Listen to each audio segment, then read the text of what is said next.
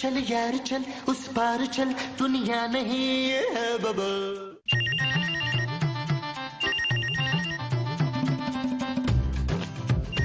hello hello hello hello hello hello hello जी जी मैं वकील बात कर रहा हूँ। जी वकील साहब बताइए क्या बात है? क्या हम लोगों ने फिर कोई छुछोरा डायलॉग बोल दिया एक बुलबुली में? ओ नहीं जी मैं सिद्दीकी साहब का वकील बात कर रहा हूँ? सिद्दीकी साहब का इंतकाल हो गया जी। नहीं। क्या हुआ मोमो? मेरे मियाँ का इंतकाल हो गया रशीद। आया था। तुम्हारे मिये का? नहीं जलील का। अरे कौन जलील? वो मुझे नहीं पता। बस मुझे इतना पता है कि मैं बेवा हो गई हूँ कदूसी। अरे क्या फजूल बातें कर रही हो मोमो? तुम्हारा मियाँ तो मैं हूँ। तो आप मरे क्यों नहीं है? मैं क्यों मरूं भाई? ना फिर वो वकील झूठ क्यों बोल रहा था? अरे कौन वकील यार? ये फ़ोन वाला। अरे हो सकता है मोमो कोई रॉन्ग नंबर मिल गया हो। आजकल बहुत रॉन्ग नंबर आ रहे हैं। हेलो? देखिए जी मैं सिद्दीकी साहब का वकील बात कर रहा हूँ। सिद्दीकी साहब का वकील? हाँ जी सिद्दीकी साहब का इंतकाल हो गया है। अरे तो हम क्या करें भाई? पता नहीं क्या हो गया है लोगों को। इनके पास कोई और काम ही नहीं है। खाम खाम में तंग करते रहते हैं। कि नबील पता नहीं कहाँ रह गया है।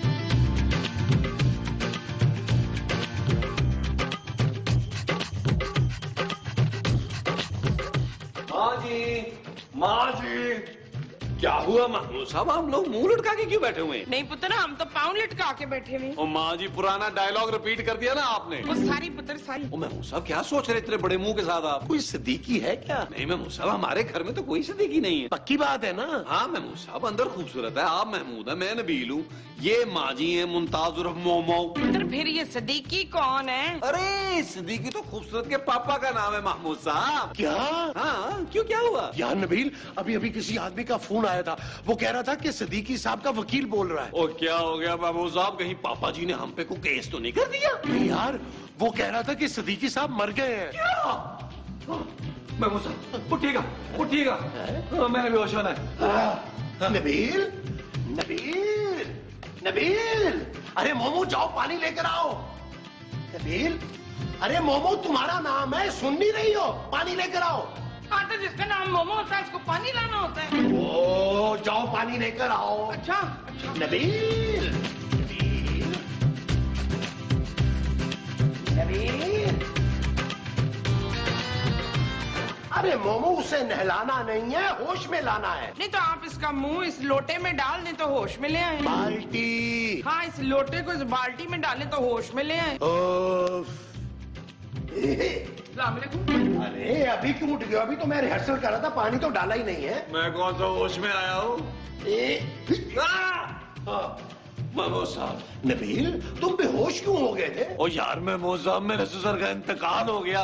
मुझे बेहोश होने का भी हक नहीं है। तुझे अपने ससुर से इतनी मोहब्बत किस टाइम से हो गई है पुत्र? ओ माँ जी मेरे तो चक्कर इस बात पे आए थे कि पापा जी का तो इंतकाल हो गया। अब इस घर का खर्चा कौन चलाएगा?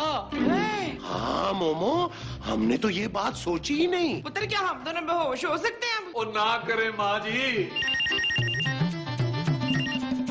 हेलो? अरे भाई मैं सिद्दीकी साहब का वकील बात कर रहा हूँ। मुझे सिद्दीकी साहब के दामाद से बात करनी है। क्यों भाई? क्या मरने से पहले उन्होंने अपनी मौत का जिम्मेदार अपने दामाद को ठहरा दिया है? अरे नहीं सिद्दीकी साहब मरने से पहले वसीयत में अपनी सारी जायदाद अपने दामाद के नाम कर गए। Thank you very much Nabeel क्या पापा जी फिर मर गए हैं? नहीं महमूद साहब नहीं महमूद साहब पापा जी ने मरने से पहले सारी जायदाद मेरे नाम कर दी है।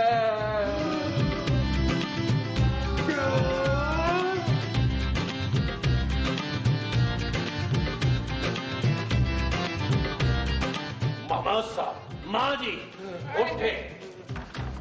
हाय मेरा सोना पुत्र कितना प्यारा है थक गया होगा ना मैं तेरे लिए शरबत बना के लाऊं। नबील मेरे बेटे मुझे पता था कि एक ना एक दिन तू मेरे बुढ़ापे का सहारा ज़रूर बनेगा। ओ मैं मुसब बस कर दें यार। जायदाद का नाम सुनते ही आपके मुँह में शहद टपकने लगा और आपने पृथ्वी राज की परफॉर्मेंस शुरू कर दी है। नबील खबरदार मेरी जायदाद पे नज़र लगाई तो।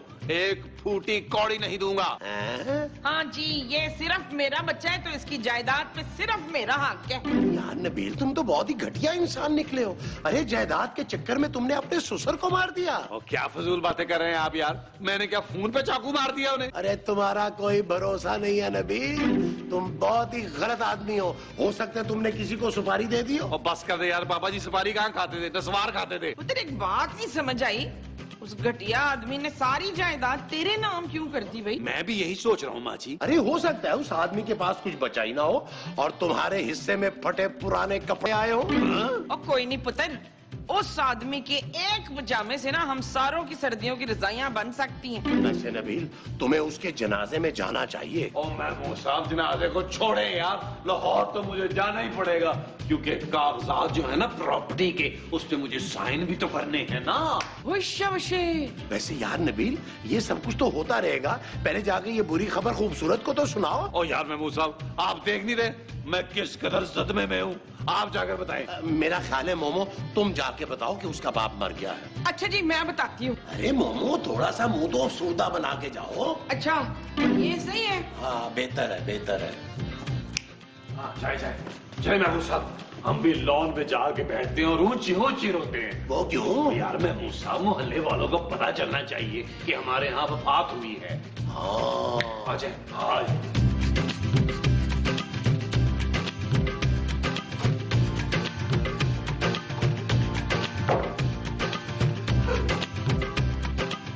ना रोना नहीं रोना नहीं। हौसला हौसला। अरे मैं क्यों रोऊँगी माँ जी? मैं कौन सा कुछ सैड सॉन्ग सुन रही हूँ? तू इस मौके पर भी गाने सुन रही है पुत्र। क्या मतलब? आप क्या कहना चाह रही हैं? ना पुत्र ना ना ना। जज्बाती नहीं जज्बाती नहीं। हौसला पुत्र हौसला। अरे माँ जी हुआ क्या है? ये तो बताएँ। तेरा मियाँ मर गया मनीषा क्या? हाँ।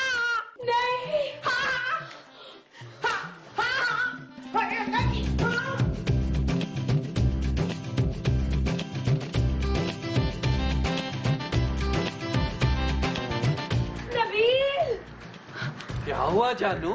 नबील तुम तो ज़िंदा हो। जानू तुम नहीं समझती वरना तो मैं ज़िंदा ही हूँ। मेरे सीने में भी दिल धड़कता है जानू। मेरा भी दिल रोमांस करने को करता है जानू। शराब नबील ओके जानू। माँ जी वैसे शर्म आनी चाहिए आपको ऐसा मज़ाक करते हुए। हैं? अरे आपने अपने सगे बेटे को मार ही दिया। वो मारा किधर है? ये ज़िंदा बैठा है ना। हद होती है जहालत की। मोमो तुमने खूबसूरत को अंदर क्या बताया था? मैंने तो यही कहा है कि पुत्र तेरा मियाँ मर गया है। क्या? ओ यार माँ जी उसका मियाँ तो मैं ही हूँ। ओए कटिया इंसान तू मरा नहीं है? नहीं तो? ओए मेरी इतनी बेइज्जती करा दी। थोड़ी देर के लिए मर जाना था तो मौत आ रही थी तुझे। ओ यार महमूद साहब आप अंदर जाएँ और खूबसूरत को बताएँ यार। अभी तो हमने लाहौर जाने की तैयारी भी करनी है। वो जो अभी लाहौर जाने की करनी है वो तैयारी है? हाँ जी। अच्छा जी मैं अभी बता के आया। हाँ। माँ जी आप आप बैठे। आप बैठे माँ जी तशरीफ़ रखे।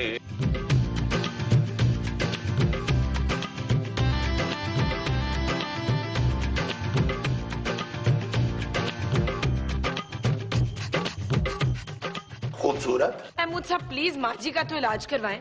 आज तो उन्होंने हद ही कर दी है। अरे दफ़ा करो उसे। वो तो पागल हो गई है। लेकिन जो बात मैं तुमसे कहने आया हूँ ना वो गौर से सुनो। आप क्या कहने आए हैं महमूद साहब जो बात मैं आज तुमसे कहने आया हूँ ना खूबसूरत उसे सुनने के लिए पहाड़ जैसा दिल फौलाद जैसा जिगर चाहिए। क्या बोल रहे हैं ये? आप बेटा तूने अपने आप को अकेला नहीं समझना। तेरा ये बाप अभी ज़िंदा है। महमूद साहब मेरा सगा बाप भी खैर से अभी ज़िंदा है। नहीं मेरी बच्ची यही तो तुझे बताने आया हूँ कि तेरा बाप ज़िंदा नहीं है। क्या?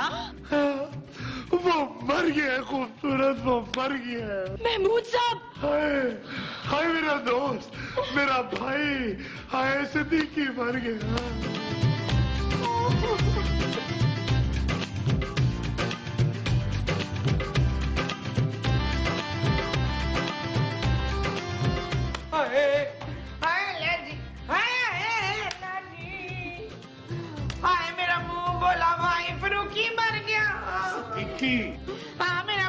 बोला सदीकी का भाई फरूकी मर गया।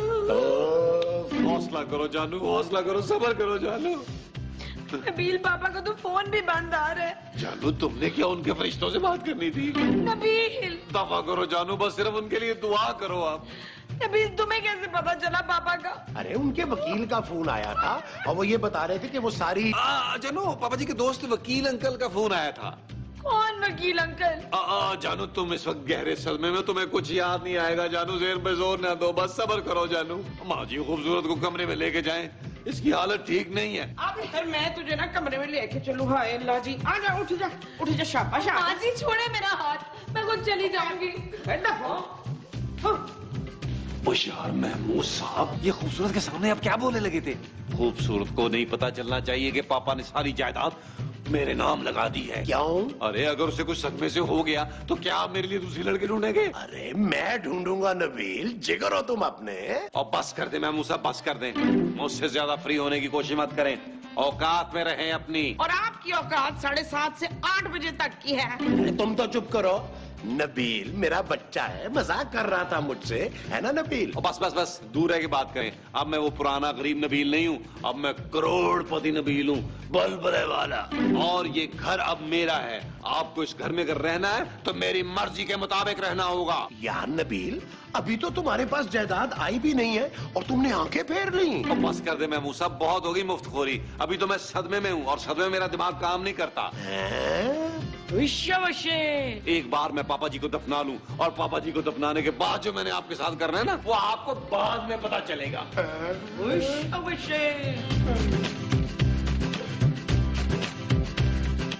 खूबसूरत। तुम अभी तक यहाँ बैठी रो रही हो। ये कोई मौका है बैठ के रोने का? नबील मेरा बाप मरा मैं क्या रो भी नहीं? जानू तुम्हारे रोने से ज़्यादा ज़रूरी जो है ना वो इस वक्त पापा को दफनाना है वरना उनमें पड़े पड़े फफूंदी लग सकती है। क्या? हाँ लोग बदबू की वजह से उनके जनाजे में शरीक नहीं होंगे। जानू हमारे पास टाइम बहुत कम है हम सबको लाहौर जाना है। जल्दी से पैसे निकालो जानू। जानू जहाज़ की टिकट करानी है। मैंने हर सूरत पापा जी की भारी भरकम लाश को कंधा ज़रूर देना है मैं बता दूँ तुम्हें। तुम आज भी मुझसे पैसे मांग रहे हो। तो क्या करूँ जानू? मेरे पास पैसे नहीं है। आज के दिन तो खुद कुछ कर लो यार। ओ यार क्या करूँ भाई? नौकरी कर लूँ तुम्हारे पापा के जनाजे में शिरकत के लिए यार। अच्छा यार दो दो पैसे दो यार दिमाग ना खराब करो। अलमारी में से निकाल लो। थैंक यू जानू। थैंक यू जानू बिज़नेस क्लास के लिए।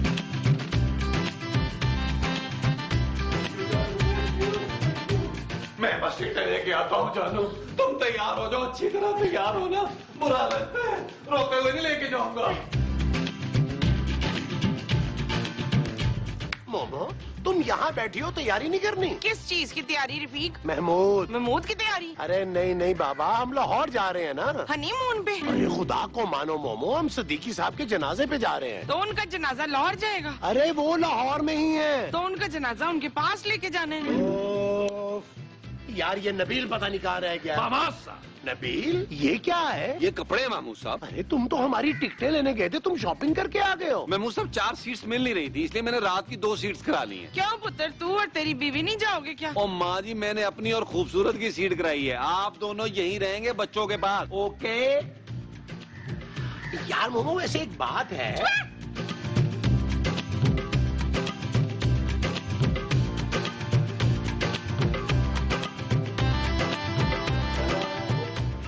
जानू तुम कहीं जा रही हो। What? मेरा मतलब ये सामान वामान ये बैग पैक कर रही हो ना इसलिए पूछ रहा था। नबील हम लाहौर जा रहे हैं ना पापा के जनाजे के लिए। तुम टिकट्स लेने गए थे? हाँ ले, हाँ जानू लेकिन रात की फ़्लाइट मिली है। रात की? अच्छा तो तुम फ़िक्र नहीं करो। मैंने अपने दोस्त ना तारक मतीन ठंडे को बोल दिया है कि वो घर जाए और पापा जी की लाश के पास कोई बारह चौदह मन बर्फ़ लगा दे ताकि लाश खराब ना नबील बार बार मेरे पापा को लाश लाश तो मत बोलो please I am really sorry जानू। अच्छा मैं ये सोच रहा था क्यों ना हम पापा जी की लाश को यहाँ ले? यहाँ लाकर क्या करेंगे नबील? जानू लॉन में ना पापा जी का मकबरा बनवा देते हैं। शाम की चाय पे फाते अभी हो जाया करेगी। क्या? हाँ हाँ सोना चांदी भी खेलते रहेंगे पापा जी के साथ। ठीक है नबील। जानू तुम ना मेरे ये कपड़े इस्त्री कर देना। मैं अभी आया जानू। हौसला करो जानू हौसला करो जानू। नहीं जानू नहीं प्लीज़ हौसला करो।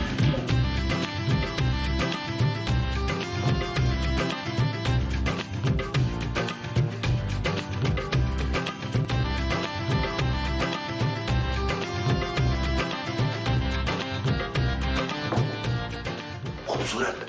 मुझे तुमसे एक बहुत ज़रूरी बात करनी है। बोले महमूद साहब और प्लीज़ ना ऊँची आवाज़ में बोले। हम्म, ये राज की बात है। ऐसा क्या हो गया है महमूद साहब? खूबसूरत। तुम्हारे पापा मरने से पहले ना सारी जायदाद इस खबीस नबील के नाम कर गए हैं। क्या? हाँ। अरे सबर करो ना खूबसूरत। अब तक तो इसीलिए सबर कर रही थी कि पापा ने जायदाद मेरे नाम की होगी। अब क्यों सबर करूँ मैं? क्या कर सकते हैं खूबसूरत। अरे नबील तो मुझे दस दस रुपए के लिए तरसाएगा महमूद साहब। अरे मुझे तो उसने अभी से धमकियाँ देनी शुरू कर दी हैं। क्या? हाँ लेकिन हमारा क्या है बेटा? हम तो सह लेंगे बर्दाश्त कर लेंगे। तुम अपना सोच लो।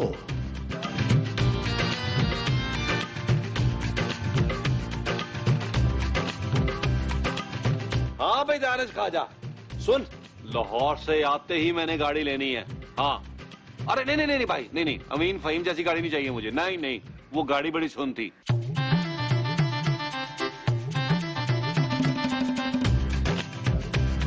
चल ठीक ओ भाई कैश दूँगा कैश दूँगा भाई नबील क्या हुआ जानू? ये मैं क्या सुन रही हूँ? क्या सुन रही हूँ? पापा ने अपनी सारी जायदाद तुम्हारे नाम कर दी है। क्या? नबील कहीं तुमने मेरे पापा को जायदाद के चक्कर में तो नहीं मार दिया? खूबसूरत तुम सदमे से पागल हो गई हो। तुम्हें पता है पापा जी मुझसे कितना प्यार करते थे? बकवास मत करो। खूबसूरत। अगर तुमने मुझे ज़्यादा गुस्सा दिलाया तो मैं अकेला लाहौर चला जाऊँगा। जाओ अंदर जाके सो जाओ। रेस्ट करो। मैं भी देखती हूँ नबील के पापा ने वसीयत में क्या लिखा है। हाँ हाँ देख लेना देख लेना। बल्कि तुम्हें भी देख लूँगा मैं। महमूद साहब ये आपने अच्छा नहीं किया। सॉरी नबील। सॉरी के बच्चे। बहुत मुफ़्त की रोटियाँ तोड़ ली तुमने महमूद। आज के बाद तुम्हें इस घर में काम करना होगा। कैसा काम? हमारे आने तक लोन खोद डालें। हमने पापा जी की कबर लॉन में बनानी। बल्कि आप एक काम करें पूरे लॉन को खोद दें। पता नहीं पापा जी कितनी जगह घेरे। कैसी बातें कर रहे हो नबील? पापा जी को दफनाने के बाद आपको पूरा लॉन ठीक करना होगा और उस पर घास भी लगानी होगी। मुझे लॉन में मुझे लगानी होगी वो घास होगी। हाँ जी। अच्छा जी। काम शुरू करें। ओके जी। काम चोर कहीं के बल्कि यही कहीं के चालू आ जाओ फ़्लाइट का टाइम हो रहा है। उधर वापसी में ना मेरे लिए ना मल्तान का सोहन हलवा लेते आना। ओ माँ जी मैं जहाज़ पे जा रहा हूँ। हाँ तो जहाज़ मल्तान नहीं रुकेगा। ओ बस कर रहे यार माँ जी आप। महमूद साहब आप पीछे से ना पापा जी के गायबाना नमाज़ जनाजा पढ़ा दीजिएगा। वो क्यों भाई? हो सकता है फ़्लाइट लेट हो जाए और हम जनाजे में शिरकत ना कर सके। आओ जानू आओ जानू जबर करो जानू आओ। अल्लाह अल्लाह। शादी का ख्याल रखिएगा। मेरी तरफ़ से भी अफसोस करना। मेरी तरफ़ से शक्ल देख लेना उस जिद की। हेलो